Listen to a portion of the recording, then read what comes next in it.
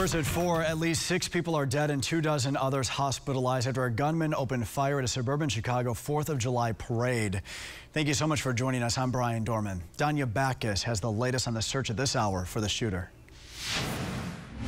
Police in Highland Park, Illinois say a gunman started shooting into a 4th of July parade from a rooftop in the downtown area. On a day that we came together to celebrate community and freedom, we're instead mourning the loss, the tragic loss of life, and struggling with the terror that was brought upon us.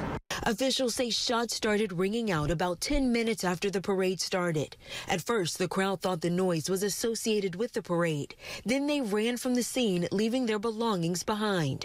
Police are searching for the gunman. The suspect is currently described as a male white, approximately 18 to 20 years old, with longer black hair, a small build, and wearing a white or blue t-shirt. So far, police have recovered a rifle. This man was along the parade route. You know, to just just get to a safe place, like get behind a brick pillar or something like that, which I did, and just to catch my breath. Our community was terrorized by an act of violence that has shaken us to our core. Officers are going door to door, urging people to shelter in place until the gunman is found.